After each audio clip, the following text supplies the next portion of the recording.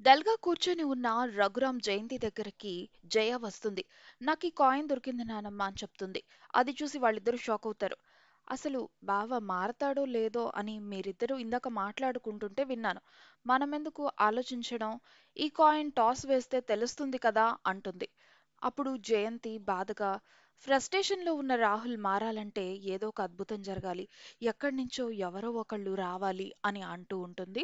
Scene cut చేస్తే Rudra photo చూస్తూ బాధగా ఉన్న అంజలిని మనకి చూపిస్తారు. అంటే సింబాలిక్‌గా అంజలి వచ్చి రాహుల్‌ని మారుస్తుంది అని చెప్తున్నారనమాట. మరి నిజంగానే అంజలి వచ్చి రాహుల్‌ని మారుస్తుందా? లేదా? తెలియాలంటే నెక్స్ట్ ఎపిసోడ్ వరకు వెయిట్ చేయండి. Thanks for watching.